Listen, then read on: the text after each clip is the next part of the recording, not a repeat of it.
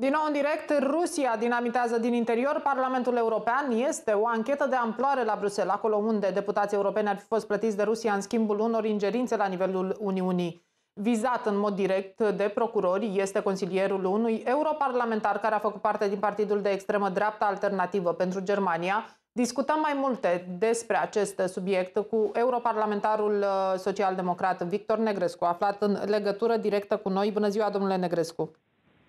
Bună ziua și mulțumesc pentru invitație. Vă mulțumesc tare mult pentru prezență. Ne uităm la această anchetă de amploare care zguduie Parlamentul European. Cum uh, s-a ajuns uh, până aici, uh, încât vedem că Rusia reușește să se infiltreze chiar în interiorul Parlamentului European? Da, vorbim de o anchetă de amploare care are ramificații foarte la nivelul Parlamentului European. În momentul de față, stadiul anchetei vizează un asistent de europarlamentar, însă turte spun că fapt ancheta merge până la eurodeputați de exemplu, care ar fi uh, votat sau susținut uh, anumite puncte de vedere apropiate de interesele uh, Federației Ruse. De altfel, toată această anchetă legată inclusiv de o publicație care era folosită de Federația Rusă pentru a disemina diferite tipuri de mesaje propuse sau anti-ucrainiene și în sensul acesta chiar acea publicație a fost în câteva luni practic blocată activitatea tocmai prin prisma a ceea ce uh, făcea.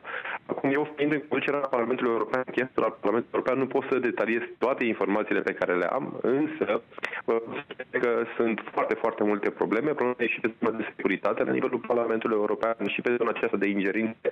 Este evident că instituția Parlamentului European, având poziții foarte dure, foarte clare în ceea ce înseamnă uh, atitudine nedemocratică a regimului lui Vladimir Putin, această instituție a fost vizată de diferite tipuri de uh, ingerințe și intervenții și uh, este important pentru noi ca să fim pregătiți și pentru perioada următoare, pentru că, din nefericire, aceste anchete dovedesc faptul că nu a existat la nivel european o capacitate de a ne proteja pentru eurodeputații și de a proteja uh, decizia uh, europeană și cred că trebuie să tragem o concluzie foarte, foarte clară uh, prin prisma a ceea ce tocmai vedem că se întâmplă în prezent. Uh, și uh, ne uităm la mesajele Rusiei. Care ar fi acestea și cum ar putea deturna parcursul european? Intervențiile au fost clare.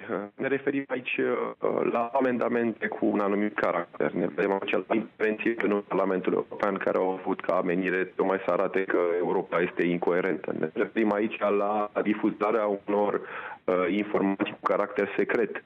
Sunt aceste tipuri de mesaje care ajung în anumite comisii din Parlamentul European, în special Comisia de Apărare și Securitate sau Comisia de uh, Politică Externă și aceste tipuri de informații, ele se pare că au ajuns în mâinile Federației Ruse.